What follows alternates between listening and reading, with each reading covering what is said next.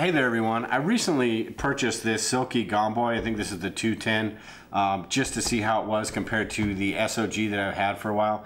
And as I was getting ready to test these and do this video, this one kind of fell apart. Uh, and I'll explain that here in a, just, a, just a minute what happened to this. So I went out and bought this from Walmart, this uh, Ozark Trail saw just to, and then I compared all three of them. The results were pretty interesting, and it's you know not really surprising to me. The silky the silky saw uh, did better than the rest, and that's kind of what I figured. And then the the SOG saw was just it took a little bit longer to cut into the wood, but this $10 Ozark trail saw that I went and got from Walmart, I thought 10 bucks, hey, you know what, that can't be too bad. But it was, it was, it was just tough to get through the wood. I, one of the, our, my friends on Facebook even commented that looked like it would be a good fire starter as well because all the friction it caused. So uh, it was really tough. But all in all, you know, it, I wasn't surprised with the results. The Silky Saw is, uh, was the fastest. The SOG was pretty good, not as good. You could really feel the bite with this saw. And then this one was just horrible. Uh, what I was talking about with the SOG falling apart, and this saw is the same. It's got this cover. It's got this cover right here, and I'm not going to take it off. I do have a picture though that it holds these pins in place. So once this little plastic cover, and it comes off fairly easily, once that comes off, those pins will just fall out uh, and, it, and it messes up this mechanism. So um, I thought it was ruined. I went and bought this one, but I came back home and messed with it a little bit and fixed it. So it's not the end of the world, but the difference is that this one, this Silky, is the mechanism is on the outside. It's riveted in this this whole mechanism, so it's not going to come apart.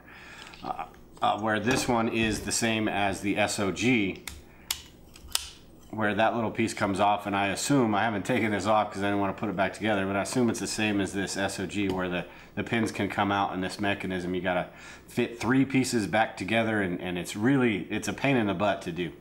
Uh, the other things about these saws, that the differences and the similarities, um, the this mechanism right here that actually where you can replace the, the saw blade itself, um, they're all they're all metal. This the Gomboy and the SOG feel like they're a stronger material than that. But again, this is a $10, you kind of get what you pay for type thing. This is a $10 knife, so it's they're gonna cut costs. This SOG was a $20 folding saw, and this, the Gomboy 210 is $40. So um, this SOG, you know, for the price, not terrible. The Gomboy is just something I, I think is gonna be durable for the long haul. Um, it lasts a lot longer than the SOG. The handle also I like um, also. Uh, the SOG is not bad. This one feels like you've got a little bit more grip.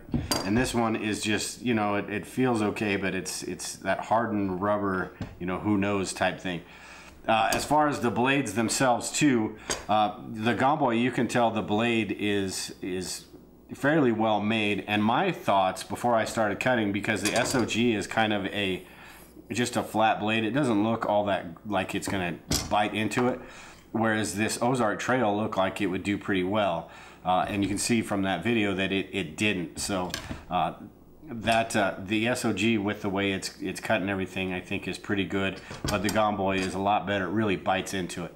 You can get uh, replacement blades for the SOG and the Gomboy itself, although the SOG is kind of a little bit harder to find than the, the replacement blades for these. I believe you can get the Gomboy blades at Home Depot. Uh, that might even be the case for these, I don't know. Uh, the Ozark Trail, I don't think, this is almost a disposable folding saw basically. So. So all in all, yeah, I just wanted to give you my two cents on these. I've tried these these three out. There's even a couple other brands that uh, in that $20 price range. I can't remember what it is right now, uh, but it's other. I've, I've heard a lot of good things about it. I don't have one of those yet, but um, so far, I mean, I, I love this Gomboy. The SOG is pretty good, and this one, you know, just just bite the bullet and pay the 20 bucks instead of the 20, 10 bucks for this, because this, if you had to cut anything substantial, it would take you forever to do. Um, also, just the last thing here, the cases, the SOG comes with this nylon case, which isn't the best material in the world, but it's not bad. And then the, the Gomboy comes with this plastic case, which I guess you could strap to your your belt or whatever. Not terrible. I don't know that I'll be taking any of the cases, so it's really, you know, whether that matters to you, it, it, it's really up to you. It, to me, it doesn't really make much of a difference. But that was it on these. I just thought it was interesting. I wanted to test these out um, and see how they are. Uh, if you have any other recommendations or comments, leave them below. Make sure and subscribe to the channel, and we'll talk to everyone later.